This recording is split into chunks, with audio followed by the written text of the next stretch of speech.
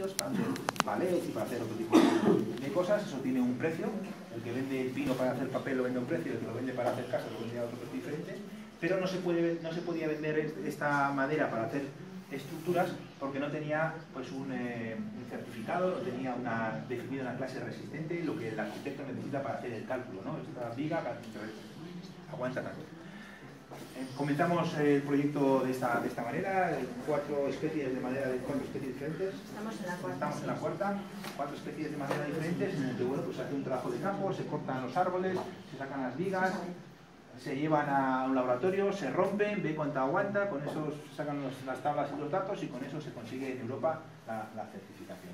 A nosotros nos interesa el proceso, nos interesa aprender todo ese proceso, pero también a la industria de maderera y, al gobierno vasco también, a, la agricultura, les interesa tener las propias clases de resistentes. Entonces, la financiación de este proyecto ha venido por ahí, de la Diputación y del Gobierno vasco, que nos han dado eh, dinero para hacer el proyecto para poder contratar pues, eh, los árboles, la corta de los árboles, y los laboratorios y demás. Y el proceso es lo que nosotros hemos eh, aprendido y la clase resistente de cada de las maderas es lo que aportamos eh, sector de alguna forma. Bien, hemos generado material didáctico, es decir, todo lo que hemos hecho lo hemos ido grabando de manera que no es fácil todos los años ir al monte y cortar los árboles, pero una vez que lo hemos hecho lo hemos grabado para que los alumnos también puedan ver todo el proceso, para que puedan conocer todo el proceso Hemos metido tecnologías como eh, los ensayos no destructivos mediante ultrasonidos.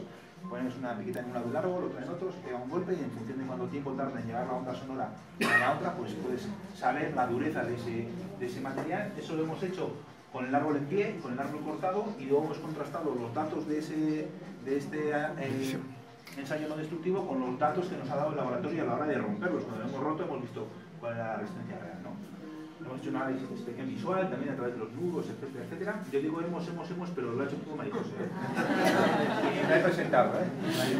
No, ha hecho todo. Sois un equipo. Yo sigo con el de trabajo, eso es. En técnica estoy yo, pero ha habido mucho personal de Diputación, de Gobierno Vasco, la gente del aserradero, al final, pues una pequeña familia que hemos pasado muchísimas horas juntos y momentos muy buenos, de apuro también, de trabajo, de nieve, de hielo, de frío, pero la verdad es que ha sido trabajo de todos. Bien, eh, aprovechando que teníamos ya pues, eh, la financiación para cortar los árboles y para sacar este, esta clase resistente, pues aprovechamos a cortar los árboles en diferentes fases lunares, ¿no? En diferentes y para ver si eso que decían eh, nuestros abuelos y la luna tiene influencia en cuando cortas el árbol y hemos visto que sí. podemos, demostrar eh, cuánto, eh, cuánto tarda en secarse una madera cortada en un tipo de luna y que meter la pata Sí, pues hay muchísima sabiduría popular, entonces lo que intentamos pues es un poco contrastar científicamente con las infraestructuras y la tecnología punta que tenemos hoy en día, si es que la sabiduría popular que han tenido pues, muchísimas generaciones y que hacían las cosas por algo, por una experiencia que tenían previamente, pues contrastar esa sabiduría popular con eh, normativa científica, que viene además, pues eso, normativa europea, tenemos que hacer los ensayos tal y como esa normativa nos indica y entonces es muy bonito pues decir, pues ha salido así por esto, por esto, por esto. Bueno, es verdad también que nos hemos tenido que ir fuera para hacer esto, también eh, hemos peleado mucho porque no te va a salir nada y entonces esto ya es, era de antes y ya no es de ahora y bueno, pues han salido muchísimas cosas. ¿no? ¿Y qué ha salido? ¿Una diferencia infinitesimal, mínima. Me imagino, porque... ¿no? ¿Ha salido, ¿Ha salido diferencias en el tiempo que tarda en secarse la madera?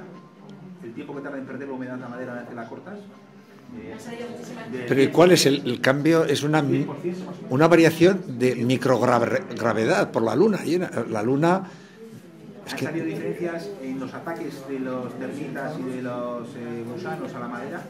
Cuando pones la madera sin ningún tipo de tratamiento... ¿Y qué procesos físicos o químicos o biológicos interviene ahí con la luna?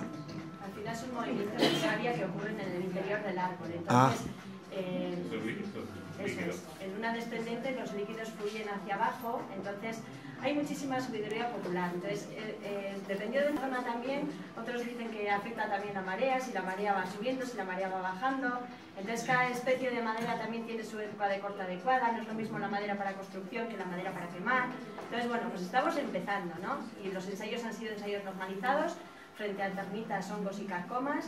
Se están estudiando procesos de secado también, estudios de densidad de la madera, si la madera en una, cortada en una luna pesa más o menos que cortada en otra luna. Y bueno, pues están saliendo...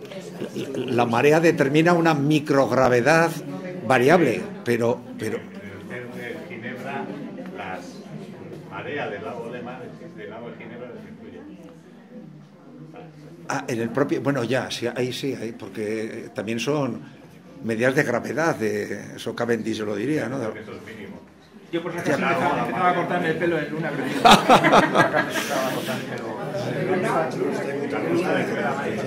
yo, yo, yo creo que lo veo muy, muy, muy complicado. Lo veo. Hay una microgravedad, pensamos un poco más los árboles. Y después eh, eh, sabemos que la luna tiene influencia en, la madera eh, con, una, con una bodega de la cueva eh, que hace los barriles y que hace el vino.